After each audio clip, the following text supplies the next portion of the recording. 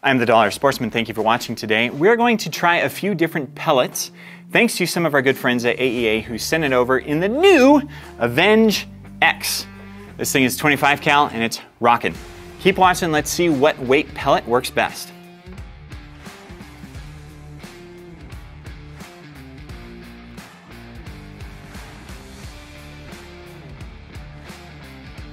A very special thank you to Zan Slugs for sponsoring the channel. Um, we're not going to use that in this video today, but I use them for my competition purposes, and they rock. I've had supreme accuracy with their 25 cals uh, in my competition guns, and their 45 cal slugs, which are out now in my Air Force. You should pick some of those up. There's a link below. Okay guys, we just got done doing an initial test of the Avenge X. That video, excuse me, is out. Um, but AEA sent me pellets of various sizes. They surprised me with a box, and I'm very grateful to them. Uh, so we're going to try a few of these pellet weights and see how they do. We've got 25.3 uh, as our starter, and then we've got 29. I'm going to read them directly to you because I don't have them memorized. 29.5 and then 33.9. Now, the JSB 25 grain 25 cal worked quite well out of this. So I'm guessing that this is going to do well too. Let's see how we do. I'm Gonna aim at our target. Let me zoom back in here. The Avenge X is very adjustable, so even if it doesn't work out of the box with a good weight, uh, it can be tuned to work with whatever weight you would like. That's pretty cool. So Let's take a few shots here. This is starting with the lowest weight, 25 cal. Shooting for the bottom left corner of the top left target. It was 908. Make sure I'm not canting the gun here. Same hole, 914.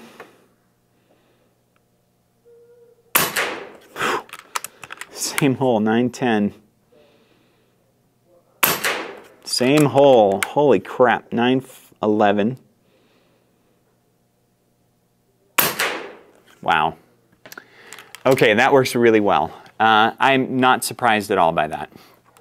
So I was using the regular 25 JSB pellets and it worked excellently with that. About the same speeds as well. These are going slightly faster, but now we're going to try the 29 grain. So what I've done in the 13 round magazine that comes in the box with the Avenge X, I've got six rounds of the 29 grain and then seven rounds of the 33.9 grain. So let's see what happens here. Okay, these are going to drop significantly. So what I'm going to do is I'm going to aim for top right target, top left corner of that target. Okay, so here we go. Not as significant of a drop as I expected. 848. Okay, it's one mil low. That's more or less. Wow. And you can actually tell that's uh, about, you see those squares on the target there, about half inch squares, if I remember right.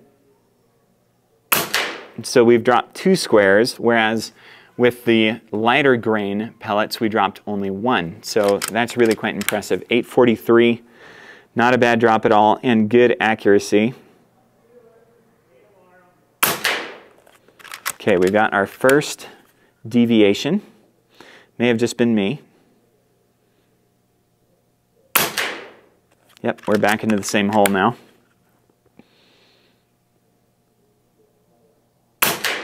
Okay. Aside from that flyer, that's really quite impressive. Um, all right, now we're going into the heavier ones now. So I'm going to aim top right corner of the top right target. Okay, we got some more drop. 781.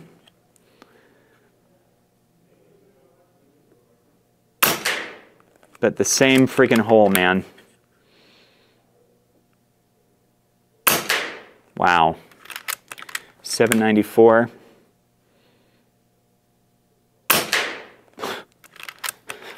Seven ninety two. It's leveling off.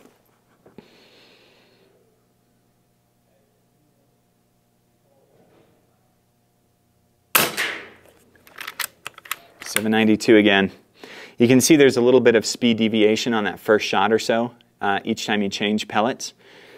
That's as the gun gets used to the new one. Same hole, 791 again.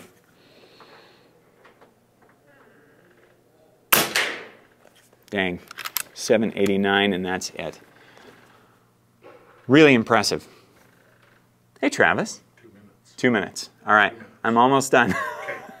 Very, again, special thank you to AEA for sending that out and to Airgun Depot for sending the Avenge X out uh, for us to test. All three of these pellets worked really well in this gun. Uh, accuracy was excellent, and that proves to me that this can take heavier weight pellets and still have excellent accuracy down range. Now, if you're going to shoot slugs, you got to tune it. Um, these are really designed for pellets more than they are slugs, so just bear that in mind. But uh, if you tune it, I haven't tried it yet, but my guess is that it's going to show up with some good accuracy. So really, you can go from 25 grain all the way up to 34 grain and still get stupendous accuracy. Now your speed's going to differ, of course. 790 is still pretty impressive with 34, but if we screw with the hammer and the regulator, I'm sure we could get more than that. I'm the Dollar Sportsman. Thank you guys for watching this quick test video. Um, more from this gun will be coming forthwith. Long distance, I'm the Dollar Sportsman.